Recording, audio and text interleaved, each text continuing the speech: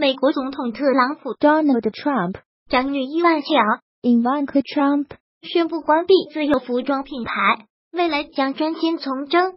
伊万巧的一位发言人证实，公司关闭的流程将立即启动，品牌将不再保留，员工将会在数周之内离职。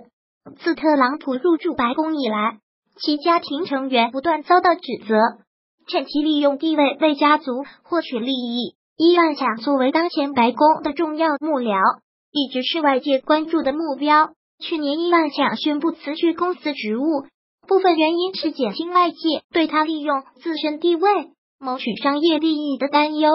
纽约邮报此前报道称，根据《火与怒》特朗普的白宫内部书中的描述，伊万卡想要成为美国第一位女总统。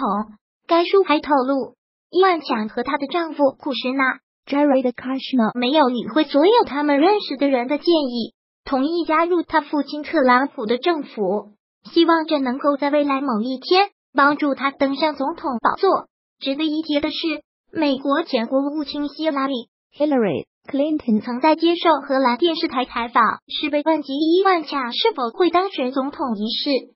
电视节目主持人问道：“很显然，伊万恰希望成为首位美国女总统。”在主持人还未问完问题，希拉里就急忙插话道。那不可能发生。我们不希望白宫出现更多没有经验的特朗普。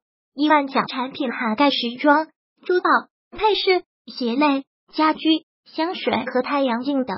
Ingenious 提供的数据显示，截至二零一六年十二月五日，当年与伊万奖有关的进口商品共有一百九十三批，主要是中国制造的鞋子和手袋。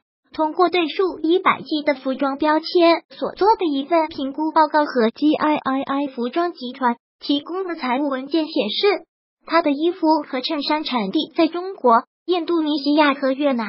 如果喜欢本视频，请分享并订阅本频道，别忘了按赞哦。